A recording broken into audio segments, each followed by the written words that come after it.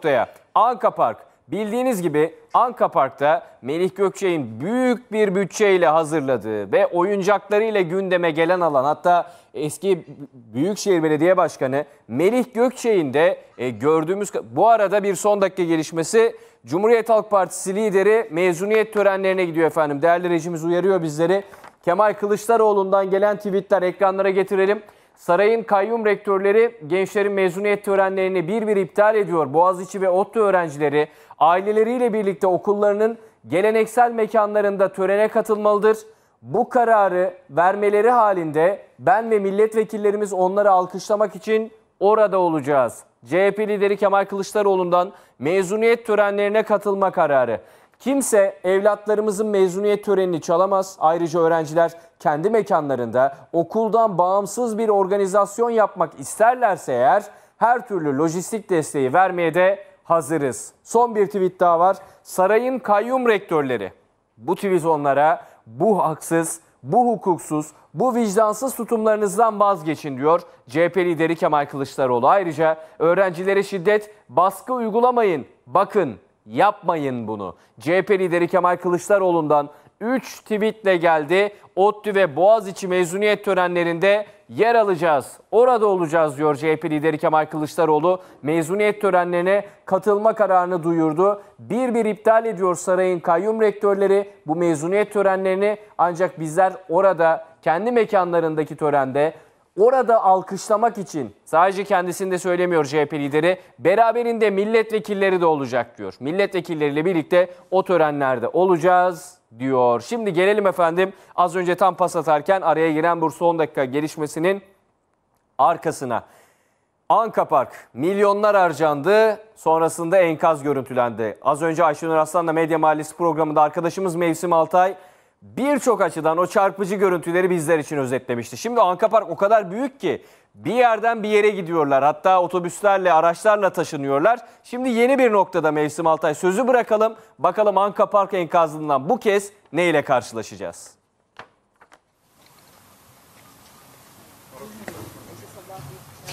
Can Coşkun Anka Park'tan İstanbul'a stüdyoya iyi yayınlar dileyerek başlayalım. Şu an atölyedeyiz. Burada da zaten etraftaki bütün aydınlatma malzemelerini, oyuncaklarını aslında Anka Park için e, harcanan vatandaşın cebinden çıkan ancak altıl vaziyette kenara atılmış her türlü aydınlatmayı görebiliyorsunuz. Binbir umutla aslında binbir e, hayalle açılmıştı Anka Park Disneyland'a e, rakip olacaktı. Ancak o hayalden geriye bu e, baloz kalıntıları kaldı. Buradaki dekorların kalıntılarının kaldığını, kaldığını söyleyebiliriz. Turumuza buradan devam ediyoruz. Demiştik ki atölye bölümündeyiz ve bu atölyede de bütün atıl olan e, aydınlatmaları görüyorsunuz şu an buradaki herkes bütün oyuncakların hepsi artık kullanılmamış vaziyette ve bu oyuncaklara da normalde 7 milyon 9 7 milyon 9 7 milyon 9 milyon dolar harcandı. Ancak şu anda da ne yazık ki hepsi birer çöplük olmuş durumda. Dakikalar sonra Ankara Büyükşehir Belediye Başkanı Mansur Yavaş'ın Anka Park'la ilgili bir açıklama yapmasını bekliyoruz ki süreç nasıl işlemişti onunla da kısaca bir değinmek istiyorum. 6 Temmuz'da yargı süreci vardı Anka Park'ın ve o yargı sürecinde Anka Park e, Ankara Büyükşehir Belediyesi'ne devre, devredildi resmi olarak ve bugün de aslında Büyükşehir Belediye Başkanı Mansur Yavaş biz basın mensuplarına Anka Park'ın kapılarını açtı ve dedi ki işte e, 2019 yılında açılan ve 1001 emekle 801 milyon dolara mal olan Anka Park'ın gelin son durumunu resmedin dedi ve biz de bütün basın mensupları olarak Anka Park'a geldik ve yerinde tespiti yaptık ve ekranlarınıza da getiriyoruz. Her yer atıl vaziyette. Bütün oyuncakların hepsinin çürümüş olduğunu da e, bu şu anda ve daha önceki yayında da ekranlarınıza getirdik. Şimdi ise bugün ise dakikalar sonra Mansur Yavaş biz biz basın mensuplarına bir açıklama, kısa bir basın açıklaması yapacak ve Anka Park'ın ilerisiyle ilgili ne olacağına dair açıklama yapmasını bekliyoruz diyelim ve sözü İstanbul'a bırakalım. Mevsim Altay, Haydar Öztürk teşekkürler. Yeniden döneceğiz ve Ankara Büyükşehir Belediye Başkanı Mansur Yavaş'ın açıklamasını canlı ekranlara getireceğiz. Bir başka canlı yayın noktamıza gidiyoruz.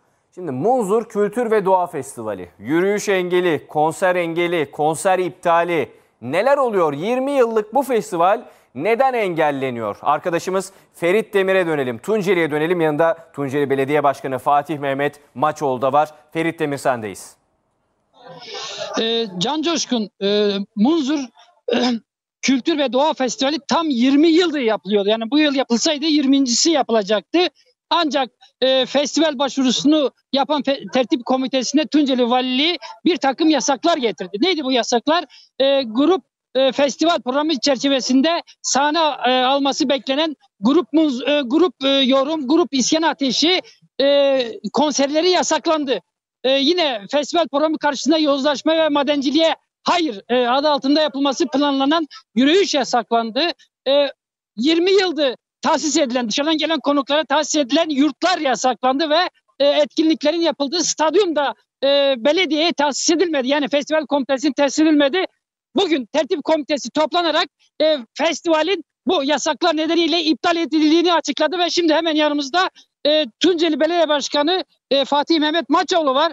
E, festival neden iptal edildi? Yasaklardan dolayı mı? Başka bir nedenden dolayı mı? Hemen kendisine soralım. E, Sayın Başkan e, bugün e, az önce e, basın toplantısı yapıldı, yürüyüş yapıldı ve e, Muzur Kültür ve Doğa Festivali'nin iptal edildiği açıklandı. Neden iptal edildi? Bunları bize açıklayabilir misiniz?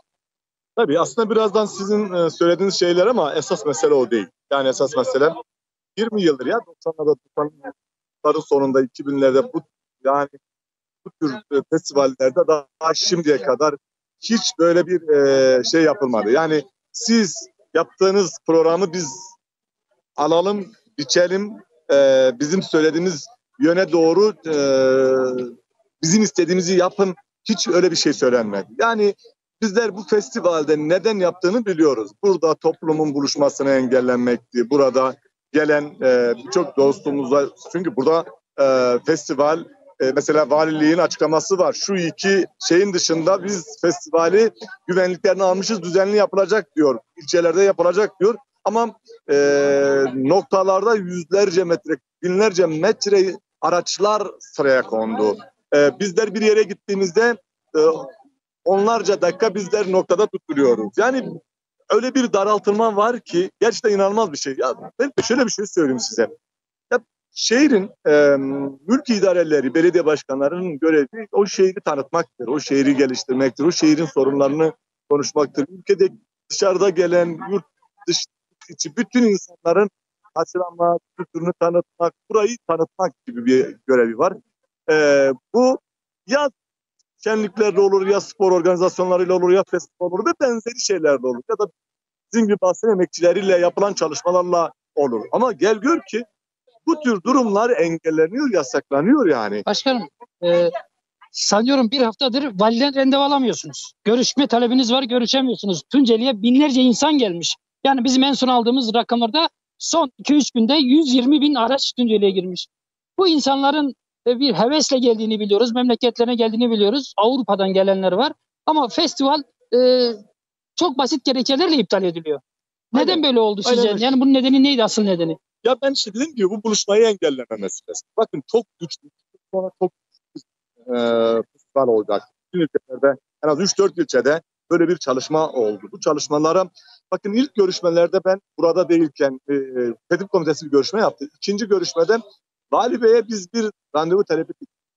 Yoğunluğundan kaynaklı randevu vermedi. Biz arkadaşlarım milletvekili üzerinde e, görüşmeler yapmaya çalıştık. Yine olmadı. Telefonlar aradılar, randevu vermedi. Özellikle bu tür durumlar şunu söyleyeyim ben. Neden e, bir bu çalışma engellendi ben biliyorum. Binlerce kişi, yüz binlerce kişi buraya aktı. Yüz binlerce insan buluştu. Dersim artık tüm Türkiye'nin e, bütün kültürlere, bütün halklarına, her şehre açık. Her, buraya gelen herkes bu toplumu tanımaya başladı. Ben bu toplumun tanınmasıyla alakalı bir sorun olduğunu Yani- düşünüyorum. 100 bin kişi bekleniyor. En az 100 bin kişi Evet. bekleniyor. Belki daha fazla. 11 ayda 113 bin ben duymuştum. Siz 120 bin dediniz doğrudur. Çünkü bizler hiç görmediğimiz kalabalık görmeye başladık. Yani e, araçların geçiş noktalarında şimdi artık gerçekten sokaklarda, caddelerde yollarda araçlar duruyor ve uzun kuyruklar olmaya başladı. Yani şunu söyleyeyim. Şu festival eee, bütün Dersimlerin dışarıda gelen kendi izinleri